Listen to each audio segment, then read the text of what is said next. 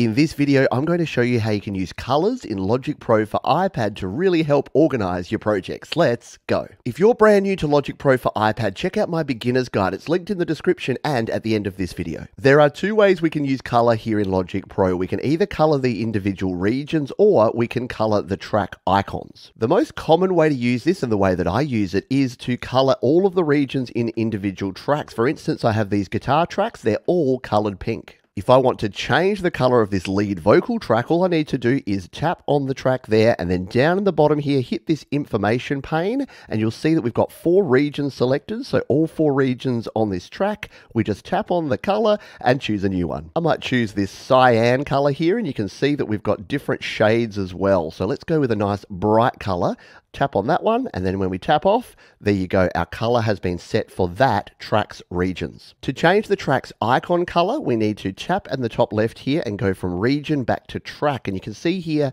we have another color setting. So if we tap on that one, if we want this same color, we just tap there and tap again, and now you'll notice that as well as the regions, we've also got the track icon changed. Let's show that one more time from scratch. So if we select a track, we tap in the bottom left here on the eye icon, we come up here and tap on the region to go back to track and we tap on color and we can also have a different color for our icon compared to the color of the region so you can mix and match to your heart's content. I know what you're thinking, Pete. What if I want all of my vocal tracks to be the same color? Well, there's a simple way to do that. We can use the multi-select tool and change a whole bunch at once. To do this, we need to use the multi-select tool, which is this one here in your toolbar. You can then tap on as many tracks as you like and make the changes all at once. So with those selected, we're going to tap on the eye icon down here, and you can see here that we've got all of those selected. They're different colors, so we've got an asterisk there. If we want all of these to be the same color though, we come across here, tap on that one,